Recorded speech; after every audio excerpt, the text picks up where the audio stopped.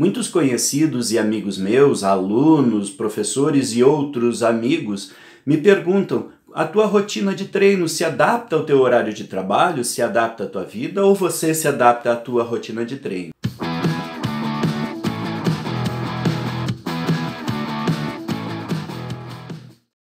Muito bem, até eu procurar um profissional adequado, eu adaptava a minha rotina de treinos à minha vida. Eu não modifiquei a minha vida por causa da minha rotina de treinos. Então eu treinava entre a aula da tarde e a aula da noite, ou treinava de manhã quando eu não tinha aula de manhã num determinado dia, ou treinava à tarde quando eu não tinha aula à tarde, mas se eu tinha atividade durante o dia inteiro, eu encontrava alguns minutos para treinar.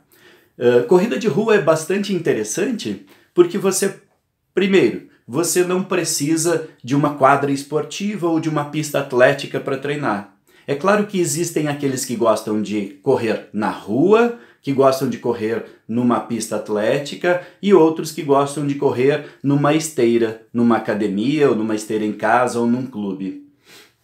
Eu prefiro correr na rua, eu gosto mais de correr na rua. E a Universidade de Passo Fundo tem um amplo espaço com ruas bastante largas, com um espaço bastante adequado para correr na rua, além de ter uma pista atlética onde eu possa fazer alguns treinos específicos.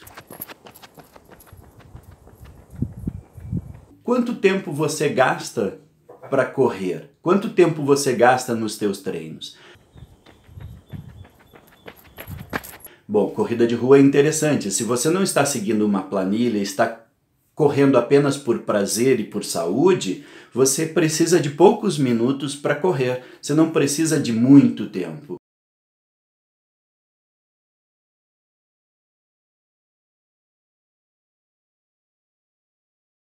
É claro que você pode pegar, fazer um treino de 15 minutos, quando eu fazia um treino de 15 a 20 minutos, eu gastava em torno de 5 minutos para me, me preparar para o treino, colocar uma bermuda, uma camiseta e os tênis, meia e tênis, e saía para correr durante 15 a 20 minutos.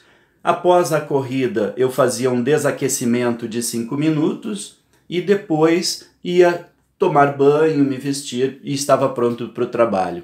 É, gastava em torno de 35 a 40 minutos, eu estava pronto para o trabalho novamente ou para qualquer outra atividade. Portanto, é uma atividade que você não precisa de um grupo grande, é muito bom treinar com outras pessoas juntos. É, é, é interessante treinar em grupo, seja grupo de duas pessoas ou grupos maiores, mas é possível tranquilamente treinar sozinho e gastar aí de meia hora a 40 minutos num treino e você está pronto para as outras atividades. Ou seja, é possível sim encontrar no dia, durante todas as tuas tarefas, 40 minutos para você treinar.